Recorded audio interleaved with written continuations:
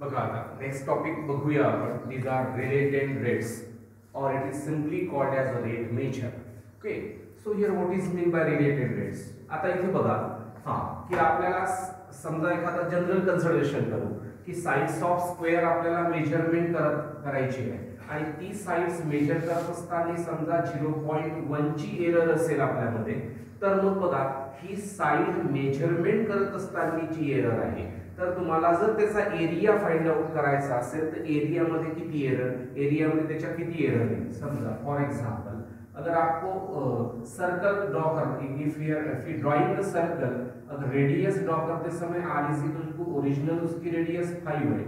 Radius calculate करते समय उसमें 0.02 की एरर है। वो calculating the radius of the circle तो आपको अगर इसके रेडियस में 0.02 की एरर है तो दीज आर द रेट्स है। उसके डिक्रीजिंग रेट और इंक्रीजिंग का रेट ठीक है?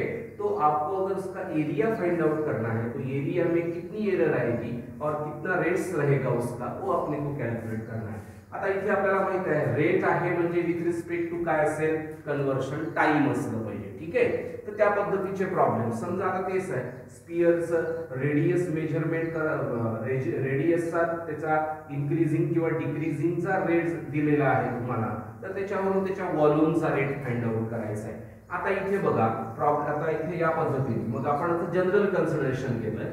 let X be the sides of the square okay and D X upon D T be the rate of side of square increasing or decreasing here काय म्हणता येईल with respect with respect to time okay with respect to time मी म्हटलंय की X be the sides of square मग आता x जर side of square आहे तर dx upon dt be the rate of side of square increasing और decreasing with respect to the time मग आता डीए अपॉन dt कोण आहे? DA upon dt be the rate of area of square increasing or decreasing with respect to time ठीक आहे? त्याच्या स्वरूपात. म्हणजे कोणतंही कधी सर्कल राहील कधी स्पियर राहील या पद्धतीने.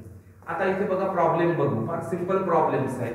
ऍक्च्युली सुरुवातीचे जे बेसिक प्रॉब्लेम आहेत त्या टेक्स्टबुकमध्ये त्यांनी घेतले नाहीये पण हे बेसिक प्रॉब्लेम म्हणूनच नंतर आपल्याला पुढे वेगवेगळे प्रॉब्लेम सॉल्व्ह करता येईल. पहा पहिला problem side of square are increasing zero point five centimetre square. म्हणजे तुम्हाला रेट दिला आहे म्हणजे कोणाचा रेट दिला आहे साईड्स ऑफ द स्क्वेअरचा. म्हणजेच अल्टिमेटली कोणाची व्हॅल्यू आहे? D X upon D T काय म्हणतो तो? Find rate at which area of square increasing when the side of square is ten centimetre. मग सोल्युशनमध्ये कसं रे लेट काय म्हणाल? एक्स बी द लक्ष द्या let X be the side of square ना.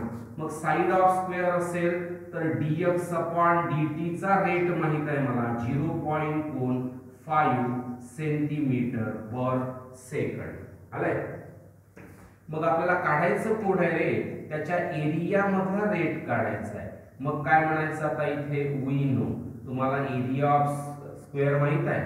मग काय म्हणाल? एरिया ऑफ स्क्वेअर रे किती area is equal to side square ना? म्हणजेच काय म्हणता येईल तुम्हाला? साईड स्क्वेअर म्हणजेच रे A is equal to X square काय करतात differentiate with respect to T आता ना? म्हणजेच मग D A upon D T किती रे? Twice X into D X upon D T two into पहा. म्हणजे साईड्स ऑफ आपल्याला एक्स सुद्धा माहीत आहे. काय म्हणाल मग? Therefore X is equal to ten centimetre two into एक्सची value सांगा मला किती आहे? टेन आणि त्याचा रेट किती आहे? झिरो पॉईंट फाईव्ह म्हणजे रे डी ए अपॉन डी टीची व्हॅल्यू किती येतं बघा? These हा zero point five into two म्हणजे वन नाही का? म्हणजे किती? Ten centimetre square per second म्हणजेच काय म्हणायचं तुम्ही? area of square is increasing increasing at कोणत्या रेटनी at ten centimetre square per second okay